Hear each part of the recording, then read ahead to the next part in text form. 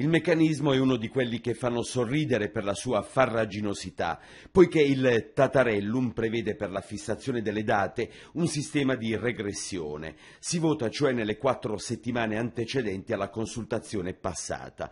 La Puglia nel 2010 è andata alle urne il 28 e il 29 marzo. Facendo un po' di conti sul calendario, le prossime consultazioni dovrebbero svolgersi tra il 1 e il 29 marzo del 2015. Altre regioni hanno esteso preso questi termini temporali andando anche in periodi successivi. A sciogliere il rebus saranno gli esperti della prefettura ai quali sono stati chiesti lumi sulla possibilità di derogare ai principi generali. Prolungare la vita del Consiglio attuale prolungherebbe anche gli stipendi e certo sei mesi in più se si considerano anche i tempi necessari per la proclamazione degli eletti non fanno certo male alle tasche dei diretti interessati, ma sicuramente fanno sapere fonti ministeriali poiché il Ministero Ministero che decide, anche questa volta si opterà per l'Election Day che metterà insieme anche la tornata amministrativa nei comuni.